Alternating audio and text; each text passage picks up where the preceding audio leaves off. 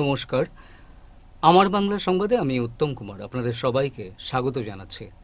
প্রথমেই দেখে নিন সংবাদ শিরোনাম। অ্যান্টি কোভিড ভ্যাকসিনের পর এবার বাজারজাত কোভিড ঔষধ, দুই ডিসেম্বর।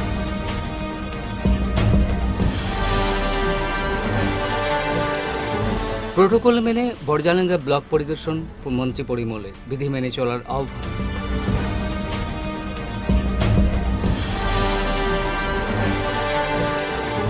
কঠোর নির্দেশ আইসিইউ নির্মাণের সময়সীমা বেঁধে দিলেন স্বাস্থ্যমন্ত্রী।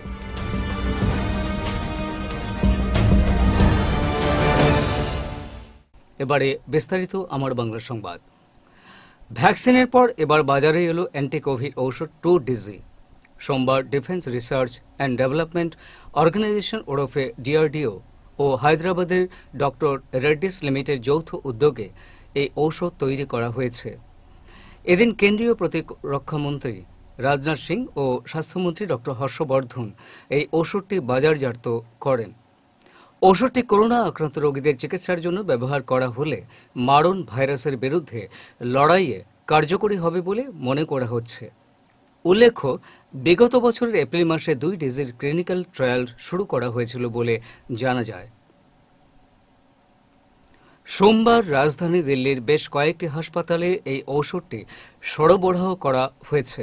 সূত্রের খবর মতো জানা যায়, ঔষধটি অনেকটা পাউডারের মতো জলে গুলিয়ে তা সেবন করতে হবে। গ্লুকোজের মতো হওয়ায় খুব সহজে শরীরে ছড়িয়ে পড়বে। Drugs controller general of India জরুরি ভিত্তিতে এই ঔষধ ব্যবহারের ছাড়পত্র দেওয়া হয়েছে। সোমবার রাজ্যের মিন, আবগারি ও বন বিভাগের মন্ত্রী পরিমল শুক্লবৈদ্য রাজ্যে পুনরায় এনডিএ সরকার ক্ষমতায় আসীন হওয়ার পর প্রথমবারের মতো তার নিজ বিধানসভা কেন্দ্রের বরজালাঙ্গা ব্লকের বিভিন্ন এলাকা পরিদর্শন করেন, সম্পূর্ণ কোভিড প্রোটোকল এবং সামাজিক দূরত্ব পালন করে। করোনা অতিমারির বর্তমান পরিস্থিতির উপর গভীর উদ্বেগ প্রকাশ করে তিনি জনসাধারণকে সরকারি বিধি নিষেধগুলো যথাযথভাবে মেনে চলার আহ্বান জানান। পাশাপাশি অকারণে বাড়ি থেকে বের না হতে আহ্বান জানান এবং সর্বদা মাস্ক পরিধান করা সহ সামাজিক দূরত্ব বজায় রাখার জন্য গুরুত্ব আরোপ করেন।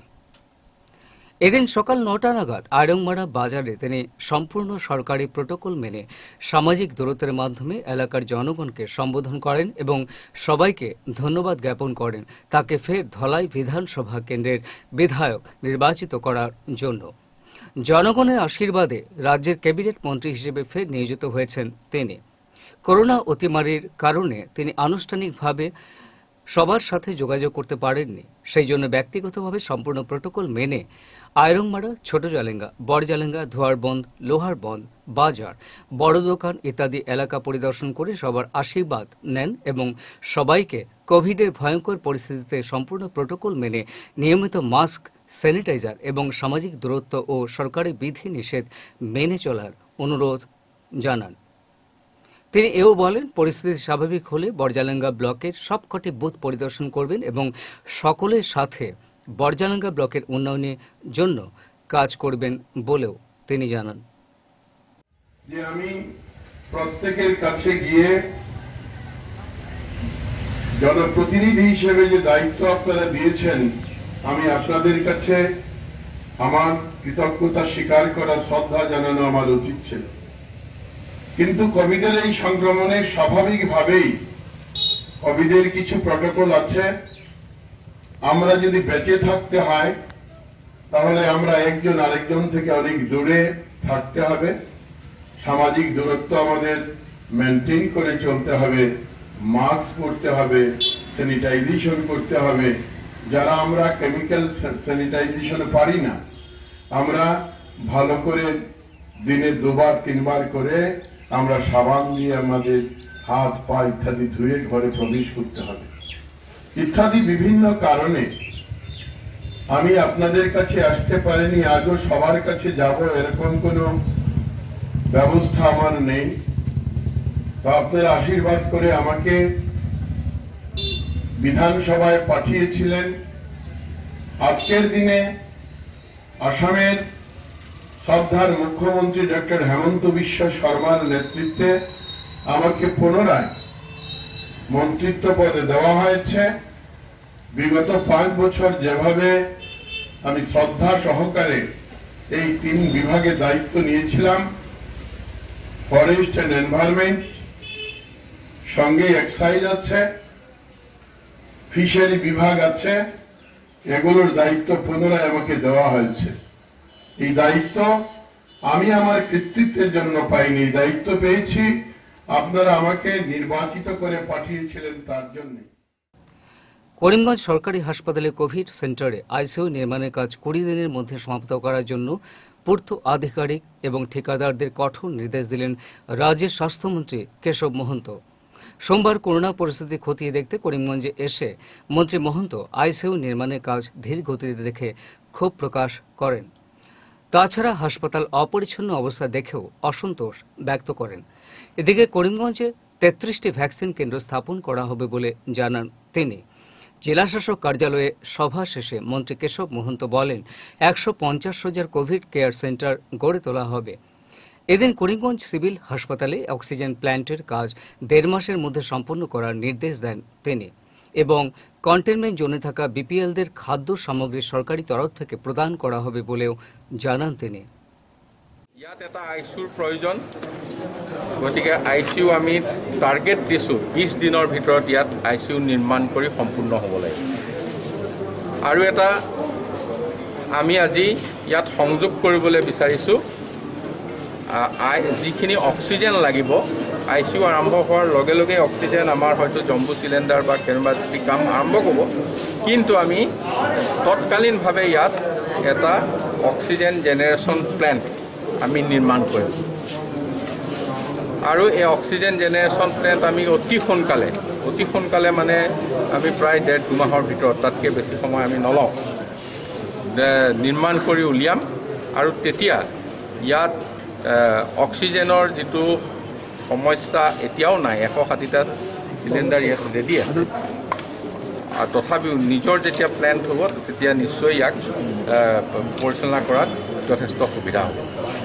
ইয়াৰ উপৰিও আমি প্ৰত্যেকটো বিধানসভা সমষ্টিত একোখনকৈ হস্পিটেল আৰু ডেৰশকৈ বিচনা ৰেডি কৰিবলৈ দিছোঁ প্ৰস্তুত কৰিবলৈ। এসপ্তাহৰ ভিতৰত ইয়াত আটাইকেইটা সমষ্টিত একোখনকৈ হস্পিটেল ডাক্তৰ আৰু ইয়াত যিখিনি প্ৰয়োজনীয় ব্যৱস্থা আছে, সকলোখিনি প্রস্তুত হ'ব। সোমবার সন্ধে ছটা পর্যন্ত কাছাড় জেলায় নতুন করে দুশো নিরানব্বই জনের মধ্যে করোনা সংক্রমণ দেখা দিয়েছে। এদের মধ্যে দুশো তিরানব্বই জনকে র্যাপিড অ্যান্টিজেন ও ছয় জনকে আরটিপিসিআর পরীক্ষার মাধ্যমে পজিটিভ শনাক্ত করা হয়। জেলা মিডিয়া এক্সপার্ট সুমন চৌধুরী এই খবর জানিয়েছেন। উল্লেখ্য, এদিন একশো একাশি জন বিমানযাত্রীরা শিলচর বিমানবন্দরে এসে পৌঁছালে তাদের টিকলস্থিত মহাত্মা গান্ধী মডেল হাসপাতালে করোনা পরীক্ষা করা হয়। এতে পাঁচজনকে পজিটিভ শনাক্ত করা হয়েছে। এদিকে শিলচর মেডিকেল কলেজ ও হাসপাতালে কতজন সক্রিয় রোগী রয়েছেন তা নিয়ে ডক্টর ভাস্কর গুপ্ত বলেন। মেডিকেল কলেজে আজ দুইশো তেত্রিশ জন পেশেন্ট অ্যাক্টিভ অবস্থায় আছেন। আইসিইউতে পঁচানব্বই জন পেশেন্ট এবং ওয়ার্ডে একশো আটত্রিশ জন পেশেন্ট আছেন। ভেন্টিলেটর সাপোর্টে আঠাইশ জন পেশেন্ট আছেন এবং অক্সিজেন সাপোর্টে একশো চৌচল্লিশ জন পেশেন্ট আছেন। আজ সকাল থেকে পনেরো জন পেশেন্ট শিলচর মেডিকেল কলেজে ভর্তি হয়েছেন এবং নয় জন পেশেন্ট ডিসচার্জ হয়ে গেছেন।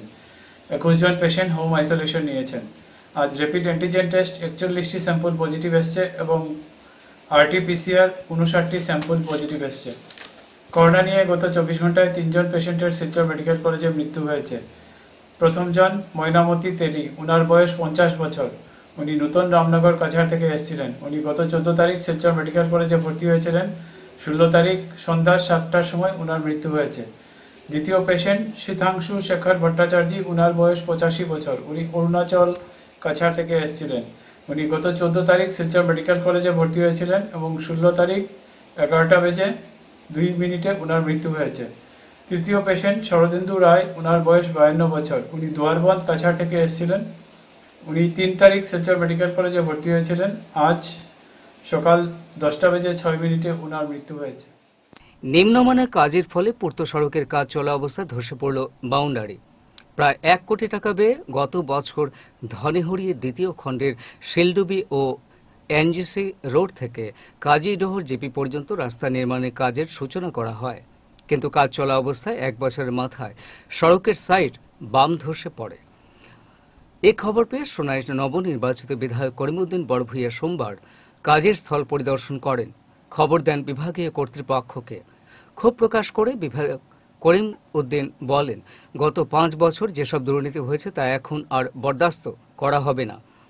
নিম্নমানের কাজ হলে পরিণাম ভয়াবহ হবে। কাজে যেগুলো সরঞ্জাম লাগানোর কথা তা না হলে খুবই নিম্নমানের কাজ করা হচ্ছে। এস্টিমেট অনুযায়ী সঠিক কাজ হতে হবে। জেলা শাসকের কাছে এই অনিয়ম কাজের সঠিক তদন্ত চেয়েছেন জানান বিধায়ক করিমউদ্দিন। ইঞ্জিনিয়ার সব নিজে দেখে গেছেন, ব্রিক্স হাতে নিলে হাত দিয়ে হাত দিয়ে প্রেসার দিলে ব্রিক্স ভেঙে যায়। অত্যন্ত নিম্নমানের কাজ, অত্যন্ত নিম্নমানের ম্যাটেরিয়ালস ইউজ করা হয়েছে। তার জন্য আমি কালকেই বা আজকেই জেলাধিপতির কাছে ইনকোয়ারি চাইব। বিভাগীয় কর্তৃপক্ষকে আমি বলেছি, যেটা লিগেল স্টেপ হয় এস পার এস্টিমেট কাজ না হলে কোনো অবস্থায় আমরা মানব না। আমরা চাই না এক্সট্রা কোনো কাজ। যেটা আছে এস পার এস্টিমেট যদি ব্রিক্স থাকে ক্লাস ওয়ান ক্লাস ওয়ান লাগাতে হবে। এখানে ব্রিক্স যেগুলো আছে ক্লাস থ্রিও না। জানি না এগুলো ব্রিক্সের আকারে ব্রিক্স বাকি মাটি। তো এই অবস্থায় গভর্নমেন্টের টাকা নয় ছয় করার যে পাঁচ বছর যেটা হয়েছিল সেটা আমরা কোনো অবস্থায় বরদাস্ত করব না। প্রত্যেক স্টেপে আমরা কাজের কোয়ালিটি মেনটেন করার জন্য স্টেপ নেব। বিহিত ব্যবস্থা গ্রহণ করব আমার বিশ্বাস। আমাদের মুখ্যমন্ত্রী যেজন হয়েছেন, তিনি নিজে পিডব্লিউ মিনিস্টার আমি মুখ্যমন্ত্রীর গোচরে আনব সুনাইয়ের দুর্নীতির কথা, নিম্নমানের কাজের কথা। কাছাড়ের করোনা পরিস্থিতি নিয়ে মুখ্যমন্ত্রীর সকাশে বরখলার প্রাক্তন বিধায়ক ডক্টর রমিনাথ সোমবার গুয়াহাটিতে গিয়ে মুখ্যমন্ত্রী হিমন্ত বিশ্ব শর্মার সঙ্গে দেখা করে কোভিড পরিস্থিতি মোকাবেলায় বিভিন্ন দাবি জানান। তার দাবিগুলোর মধ্যে রয়েছে বরখোলা মডেল হাসপাতাল বরখোলার প্রাথমিক স্বাস্থ্যকেন্দ্র, বিক্রমপুর স্বাস্থ্যকেন্দ্র, শালচাপড়া মিনি স্বাস্থ্যকেন্দ্র ইত্যাদিতে পর্যাপ্ত পরিমাণে করোনা টিকার ব্যবস্থা করা পাশাপাশি করোনা টিকাকরণ নিয়ে কালোবাজারি হচ্ছে বলে গণ অভিযোগের কথা তুলে ধরেন এবং এ ধরনের কালোবাজারি শক্ত হাতে বন্ধ করার দাবিও জানান তিনি। প্রাক্তন বিধায়ক রবীনাথ শিলচর মেডিকেল কলেজ হাসপাতালের কোভিড ওয়ার্ডে সিসি ক্যামেরা বসানোর দাবি জানান। সেই সঙ্গে করোনা আক্রান্ত রোগীদের আর্থিক সাহায্য প্রদানেরও দাবি জানিয়েছেন। এদিন রবীনাথ স্বাস্থ্যমন্ত্রী কেশব মহন্ত ও মন্ত্রী অজন্তা নেগোর সঙ্গেও দেখা করেন। কাছাড় জেলার নতুন পুলিশ সুপার হিসেবে দায়িত্ব নিলেন আইপিএস নিম্বালকর বৈভব চন্দ্রকান্ত। সোমবার প্রাক্তন পুলিশ সুপার বিএল মিনার কাছ থেকে তিনি দায়িত্ব সমঝে নেন। উল্লেখ্য, এর আগে আইপিএস নীলাম্বর বৈভব চন্দ্রকান্ত কাছাড় জেলায় অতিরিক্ত পুলিশ সুপার হয়ে দায়িত্ব পালন করেছিলেন। করোনার সংক্রমণ থেকে জনগণকে মুক্ত রাখতে সোমবার অখিল ভারতীয় বিদ্যার্থী পরিষদের বড়জালঙ্গা শাখার উদ্যোগে ও সংগঠনের আসাম বিশ্ববিদ্যালয়ের শাখার সহযোগিতায় ধোয়ারবন্দ ও তার পার্শ্ববর্তী সহ এলাকাগুলো স্যানিটাইজ করা হয়। সাম্প্রতিক করোনা অতিমারির দ্বিতীয় ঢেউয়ে গোটা রাজ্যের সাথে বরাক উপত্যকায় এই সংক্রমণ ব্যাপকভাবে বৃদ্ধি পাওয়ায় এই কর্মকলাপ আয়োজিত করেন সংগঠনের দুই শাখার কর্মকর্তারা। এদিন ধোয়ারমন্দ বাজার ধোয়ারমন্দ পুলিশ স্টেশন ছোট ছোটজলঙ্গা বাজার, কোঅপারেটিভ দোকানপাট সহ আশেপাশের অঞ্চলগুলো স্যানিটাইজ করা হয়। পাশাপাশি জনসাধারণের মধ্যে সচেতনতা গড়ে তোলা সহ সামাজিক দূরত্ব পালন করার আহ্বান জানান তারা। তাছাড়া মাস্কও বিতরণ করেন সংগঠনের কর্মকর্তারা। চলে গেলেন কাছাড় জেলার প্রাক্তন জেলাশাসক হরেন্দ্র কুমার দেব মহন্ত বিগত কয়েকদিন থেকে অসুস্থ অবস্থায় গুয়াহাটির এক বেসরকারি হাসপাতালে ভর্তি ছিলেন তিনি। উচ্চ রক্তচাপ জনিত সমস্যা দেখা দেওয়ায় তাকে হাসপাতালে ভর্তি করা হয়েছিল। তার মৃত্যুতে গভীর শোক ব্যক্ত করেন রাজ্যের স্বাস্থ্যমন্ত্রী কেশব মহন্ত। গুয়াহাটির নবগ্রহ শ্মশানে তার শেষকৃত্য সম্পন্ন হয়। তার মৃত্যুতে বিভিন্ন মহল থেকে শোক জ্ঞাপন করা হয়। রবিবার সুমনা দাসের নেতৃত্বে সামাজিক সংস্থা উদয়ের পথে এনজিওর পক্ষ থেকে বাড়িতে নিভৃত বসে থাকা করোনা আক্রান্ত রোগীদের বাড়ি স্যানিটাইজ করা হয়। করোনা অতিমারির সময়ে সংস্থার এমন কার্যকলাপে ভূয়সী প্রশংসা করে সুমনা দাসকে ধন্যবাদ জ্ঞাপন করেন ভুক্তভোগী পরিবারের সদস্যরা।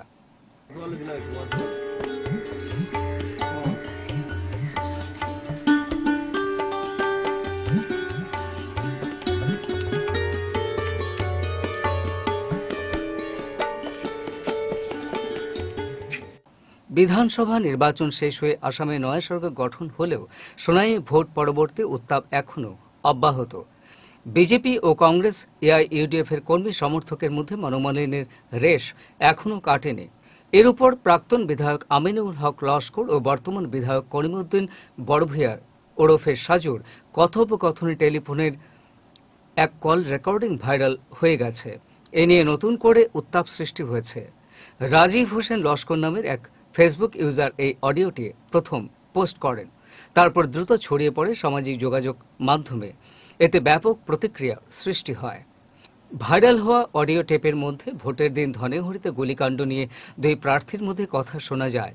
এছাড়া কর্মী সমর্থকের মধ্যে হিংসাত্মক ঘটনা নিয়েও বিধায়ক করিমউদ্দিন বড়ভূয়া ও প্রাক্তন বিধায়ক আমিনুল হক লস্করের মধ্যে বার্তালাপ হয়। এদিকে ভাইরাল অডিও ট্যাপটি ভুয়ো এবং এডিটেড জানিয়েছেন, বিধায়ক করিমউদ্দিন বড়ভূয়া তাকে হেয় প্রতিপন্ন করার জন্য নিকৃষ্ট রাজনীতি করা হচ্ছে বলে অভিযোগ করেন তিনি। এ নিয়ে সোনাই থানায় মামলা দায়ের করেছেন তিনি। প্রাক্তন বিধায়ক আমিনুল হক লস্করও অডিও ক্লিপ ফেসবুকে প্রথম শেয়ার করা ইউজার রাজীব হোসেন লস্করের বিরুদ্ধে মামলা দায়ের করেছেন। পুলিশ মামলাটি নথিভুক্ত করেছে বলে জানা গেছে। উল্লেখ্য, গত বৃহস্পতিবার নবনির্বাচিত বিধায়ক করিমউদ্দিন বড়ভূয়া প্রাক্তন বিধায়ক আমিনুল হক লস্করের বাড়িতে গিয়ে তার সঙ্গে সৌজন্যমূলক সাক্ষাৎ করেছিলেন। এদিন দুজনের মধ্যে বেশ কিছু সময় কথাবার্তাও হয়। সোনার উন্নয়নে একে অপরের সহযোগিতা কামনা করেন। তারপর এই ট্যাব কাণ্ড নতুন করে পরিস্থিতি উত্তপ্ত করে তুলেছে। এদিকে সোমবার বিকেলে এই ঘটনার পরিপ্রেক্ষিতে নিজের প্রতিক্রিয়া ব্যক্ত করতে গিয়ে প্রাক্তন বিধায়ক আমিনুল হক লস্কর তার ফেসবুক অ্যাকাউন্ট থেকে এক লাইভের মাধ্যমে বলেন তদন্ত হচ্ছে, তদন্ত সত্য কথা বার হয়ে আসবে। সত্য কোনোদিন লুকিয়ে থাকে না বন্ধু, সত্য গড়িয়ে আসবে, সত্য প্রকাশ হবে। আর সত্য যখন প্রকাশ হবে, তুমি লজ্জিত হবে। আমার তো কিছুই নাই। আমি কাজ করেছি পাঁচ বছর পাঁচ বছর কাজ করে মানুষে যে ম্যান্ডেট দিয়েছেন, এটা আমি সদরে গ্রহণ করেছি। হয়তো আমার কোন জায়গাতে ভুল আছে, এর জন্য আমাকে জনসাধারণ যেভাবে ভোট দিতে লাগে, এভাবে ভোট দেয়নি। কিন্তু একটা কথা মনে রাখবে বন্ধু, সোনাই সমষ্টিতে যারা আগে বিধায়ক হয়ে হেরেছেন, যদি ষাট হাজার বুট পেয়ে বিধায়ক হয়েছেন, তার পরের বছর পঁচিশ হাজার বুট পেয়ে হেরেছেন। আমি দুই হাজার ষোলোতে চৌচল্লিশ হাজার বুট পেয়েছিলাম। কিন্তু দুই হাজার একুশে আমি হেরেছি, তখন বায়ান্ন হাজারের ঊর্ধ্বে ভোট পেয়েছি। জনসাধারণ আমাকে আশীর্বাদ, দোয়া দিয়েছেন, একমাত্র তুমি কোরআনকে ব্যবহার করেছ, তুমি ধর্মকে ব্যবহার করেছ, তুমি কোমকে ব্যবহার করেছ, তোমার ক্ষমতা দিয়ে তুমি জিতনি, তোমার কোরআনকে ব্যবহার করে, ধর্মকে ব্যবহার করে, কোমকে ব্যবহার করে তুমি জিতেছো। এটার ক্রেডিট তুমি নিতে নিতে, একা নিতে পারবে না। এটা ক্রেডিটটা কোরআনকে, কোমকে, মসজিদকে, জাতকে দিতে হবে। তোমার ক্ষমতা দিয়ে তুমি জিতেওনি বন্ধু, যাই হোক, সত্য প্রকাশ হয়েছে, সত্যর জয় সব সময় হবে। গোটা দেশের সঙ্গে ত্রিপুরা রাজ্য করোনার দাপটে যুবথুপু সাধারণ মানুষের জীবন। ইতিমধ্যে কেন্দ্র ও রাজ্য সরকার বিভিন্ন নিয়মাবলী জারি করেছে। কিন্তু তা এক প্রকার মানতে নারাজ কিছু মানুষ। তাতে আগামী দিনে মহামারী করোনা ভাইরাস ভয়াবহ রূপ নিতে পারে। বিশেষ করে সামাজিক দূরত্ব, মুখে মাস্ক পরিধান করা ও নৈশ কার্ফু সঠিকভাবে পালন করার বার্তা তুলে ধরছে রাজ্য সরকার। কিন্তু উত্তর জেলার কদমতলা থানাধীন রাজেন্দ্রনগর, সরলা, মহেশপুর এলাকার স্থানীয় দোকানিরা কদমতলার ব্লক ও কদমতলা পুলিশ প্রশাসনের নৈশ কার্ফু আইনকে বৃদ্ধাঙ্গুলি দেখিয়ে অবাধে দোকানপাট খুলে ভিড় জমাচ্ছেন। সেই সকল দোকানিদের কদমতলা পুলিশ প্রশাসনের পক্ষে শেষবারের মতো সাব জানিয়ে দেওয়া হয়। যদি আগামী দিনে সন্ধে থেকে ভোর পাঁচটা পর্যন্ত কোনো দোকানপাট খোলা থাকে, তাহলে আইনানুগ ব্যবস্থা গ্রহণ করা হবে প্রশাসনের তরফে বলা হয়েছে। গতকাল সন্ধ্যের পর বিভিন্ন এলাকার বাজারগুলিতে সরেজমিনে খতিয়ে দেখতে বের হন কদমতলা থানার ওসি কৃষ্ণধন সরকার। যে করোনা পরিস্থিতি দিন দিন আমরা একটু এখন দেখতেই পাচ্ছেন সংক্রমণ আস্তে আস্তে বাড়ছে, এই জন্য আমাদের সাবধানতা অবলম্বন করতে হবে। আমাদের প্রত্যেকটা বাজারে বাজার কমিটির সিদ্ধান্ত ক্রমে তারা বললেন যে সন্ধ্যা ছটায় দোকান বন্ধ করে দেবেন। কিন্তু দোকান বন্ধ করছে না কেউ কেউ। বিভিন্ন বাজারে, আজকে বিষ্ণুপুর বাজারে, সরলা, অনেক জায়গার ভিতরে আমরা গেছি এবং গিয়ে আমরা ওয়ার্নিং দিয়ে দিয়েছি দোকানদারকে। আমরা কিন্তু ডিজাস্টার ম্যানেজমেন্ট অ্যাক্টের আওতায় ওদের বিরুদ্ধে আইনানুগ ব্যবস্থা নেব। ওরা দোকান খুলে বসে আছে, এখানে কাস্টমার ভিড় জমাচ্ছে, ওদেরকে বলাই আছে। এবং বিডিও সাহেবের থেকে অলরেডি ওই উনি, বাজার কমিটির লিখিত ইয়ে কমিটির যে রেজলিউশন সেই মোতাবেক উনি অলরেডি এক, নিজে একটা সার্কুলার বের করেছেন। আমরা বারবার বলেছি কদমতলার মতো জায়গা বা ইয়ে লালছড়া, নতুন বাজার, এগুলো ধীরে বন্ধ হয়ে যাচ্ছে। কিন্তু ভিতরে কিছু কিছু বাজার মাঝে মাঝে ডিস্টার্ব করছে। আমরা করা অ্যাকশন নিচ্ছি আমরা। আদারওয়াইজ যদি এরকমভাবে আমরা না নেই, রোগটা আরও বেশি চড়াবে এবং কিছু কিছু লোক অনেক সময় পজিটিভ হয়ে আসছে হোম আইসোলেশনে থাকছে। তাদের পরিবারে কিছু কিছু লোক অনেক সময় ডিস্টার্ব করতে চায়, বাড়িঘর থেকে বেরিয়ে আসতে চায় এবং দোকানে আসে, অনেকে টেরও পায় না, কারণ এখন সংখ্যা বেড়ে যাচ্ছে। এই জন্য আমাদের একটু কঠোর হাতে যদি পদক্ষেপ না নিই, এটা আরও ভয়ানক রূপ নেবে। এই জন্যই আজকে আমাদের এই পদক্ষেপ এবং এটা আরও জারি শেষ করার আগে বিশেষ বিশেষ খবর আরও একবার। অ্যান্টি কোভিড ভ্যাকসিনের পর এবার বাজারজাত কোভিড ঔষধ, দুই ডিসেম্বর।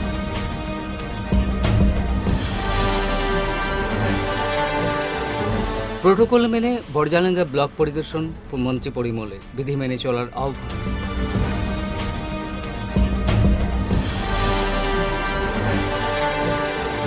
কঠোর নির্দেশ আইসিইউ নির্মাণের সময়সীমা বেঁধে দিলেন স্বাস্থ্যমন্ত্রী।